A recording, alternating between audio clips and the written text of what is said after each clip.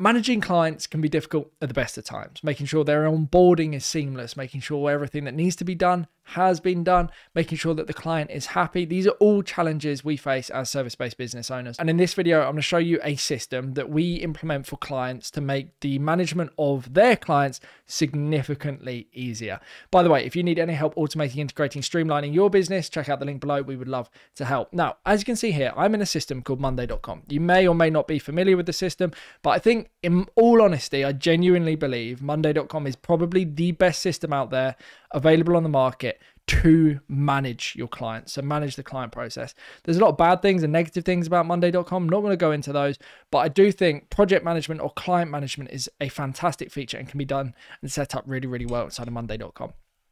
So you can see here, I've created a projects board. Now, anyone could create a board in monday.com. You can customize it however you want. Now, imagine this is a new project, a new project for a client. What I would typically do is I would integrate when the status of the deal inside of your CRM system is equal to closed won, I would create an integration or an automation, depending on how you're using systems that automatically creates a new project inside of or a new item or new record in your projects board so your projects area. Now within here what i would have is obviously the key data points relating to that particular client. So let's say the start time and end time of the project. We've got project documents which i've integrated with a google drive system project details the site address if site's applicable project details contact information if it's if applicable so you can see the contact that you're dealing with for that particular project so you can liaise with them um, and any other information that you would find suitable when you're managing your client. So it, obviously this is going to be a very general video. Um, you need to use your imagination, think about which things you need to track as a business to ensure that you're able to deliver a really good job for your clients. But obviously there are data points that are not necessarily going to match what you guys do. So that's the first thing that I'd do. I would create a new board called projects inside of monday.com and then I would set up the columns that you need here. And if you're not sure how to do that, you can check out the link above. Now we also have who this is assigned to. So you can assign this particular project to anyone within your organization. Um, so maybe you'll have a project manager for this particular project that automatically gets allocated to them, which is pretty cool because then it's their responsibility to deal with, and you can create a round robin of projects or however you want to set things up. Now, what I would also typically have as an automation is when a new project is created, every business has to go through a series of onboarding things. So there's a series of things that need to be done in order to make sure that the client is up, live, happy, like they're set up and ready to work with you and your business. I would use sub items. So sub items are tasks within a task. So like mini tasks, right? Simple, yeah. Um, and I would have those automated.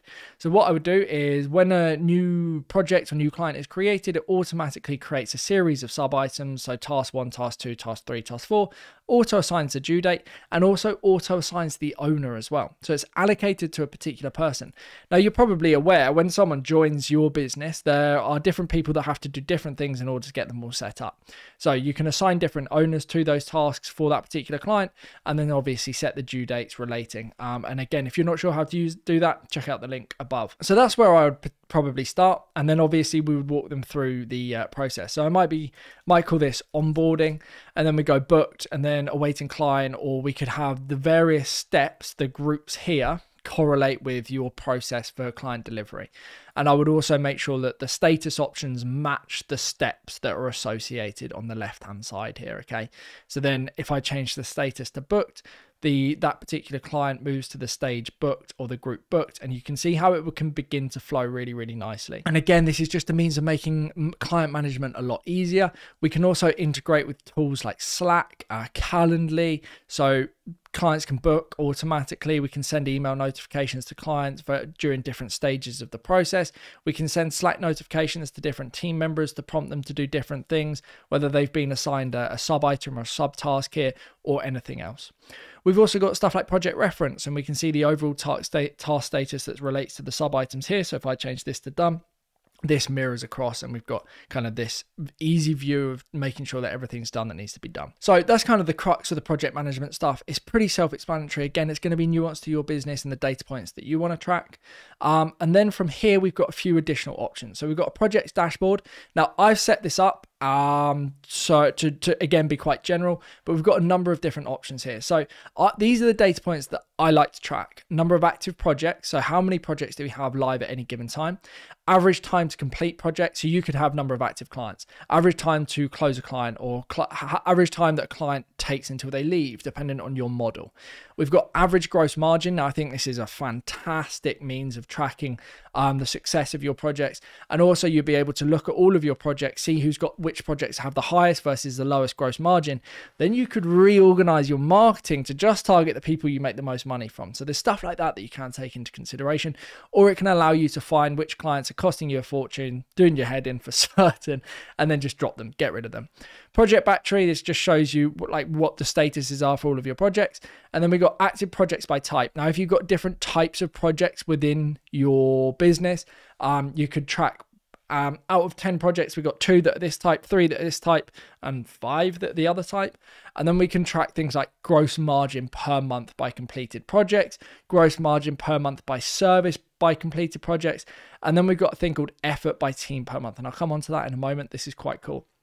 But the gross margin stuff is really, really helpful. Now, if you're not familiar with how to track gross margin, um, either you're operating on a fixed cost for a project. So let's say Revenue for a project is a thousand. I hire someone for five hundred pounds to do the project, and that gives me a gross margin of five hundred. But that's if it's like you hire that person for that project and it's a one off. Most businesses have employees, not necessarily contractors. And that means if they're doing anything with time, I strongly recommend using a tool called Clockify. Now, Clockify is a time tracking tool, it's very, very simple. Um, and I've actually done a video where I show how to integrate Clockify with Monday.com so you can track the gross margin of your business or of your projects. So then you'll be able to see mm, who's costing me the most, where am I making the most money. If you want to watch that video, check the link above because that will walk you through absolutely everything. Because it's really important to be able to see how much time people are putting into a particular project. Um, and then obviously, gross margin is everything within a business. Sub net margin, obviously. Um, so that's project dashboard. Now, within projects, we can also assign effort. So you'll notice this on the effort here. So I've got effort columns on the sub items. You don't necessarily need them on the actual main project itself, but you could have it on both if you wanted to. Now, effort I typically define as 0.5 equals half a day, 1 equals a full day, and then obviously it goes on 1.5 is a day and a half. Pretty self explanatory. Now, the reason I have effort is because then I can use what's called workload management, and this will allow me to see who's been allocated what, how busy or quiet are they? And then when when they're allocated this work as well. Before i head over to the workload management i'm just going to quickly adjust these. So i'm obviously it's a little bit later in the month so i'm going to change this to be due date uh, let's go to today, uh, 17th of October. Um, and then I'll change these to to do, these to to do. I'm going to change this to, let's say, the 26th and this one to the 30th. And then, I don't know, let's just put this one here as well. Okay. So now I've got 1.55 and 0.55 days for this task, one and a half days for this task, half a day for this task. And as you can see, uh, I am allocated all of these tasks. Now, obviously, your team will be allocated different tasks. So now, if I head over to my workload management, I'll be able to see the allocation based on the person. So it's broken down by person here. And then you can see I've got a five and my maximum capacity for Wednesday is eight. I could then go ahead to the cog in the top right hand corner and I can change my capacity. So I can edit the capacity. Let's say uh, I've got five available over the course of a, I think this is based on a week. Yeah, you can see per week here. So you can go ahead and press done. You can see that I'm over allocated on Wednesday, under allocated on Tuesday. But what I could do is I can then change the view to weeks and I can see my allocation per week. So you can see I'm over allocated by half a day on that week. And then this might look small and simple at the moment, but I want you to imagine your whole team's on here some are a little bit red, some are blue, some are, you know, over allocated, under allocated. You can see why this would be so useful because when you when it comes to client management, it's really or project management, it's really important for you to accurately allocate work to your team so your clients get the best service possible because if they're over allocated, people are going to be stressed, things are not going to get done properly. Um, and then if they're under allocated, well, you're wasting money essentially. So the workload management is really helpful. Having the project dashboard for your gross margins and just tracking of projects.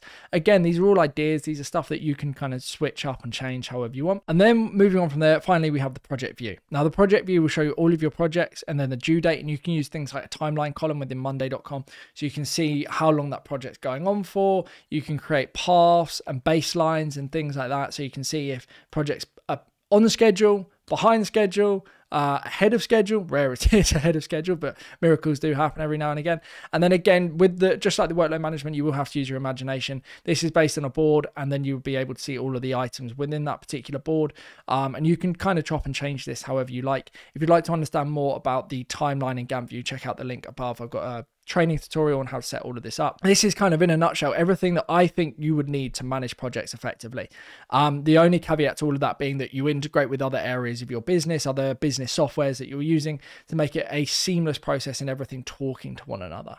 But that's uh, in a nutshell, like I said, everything you've got projects. This is where you track all of the data, all of the information you need for projects, and also all of the tasks associated.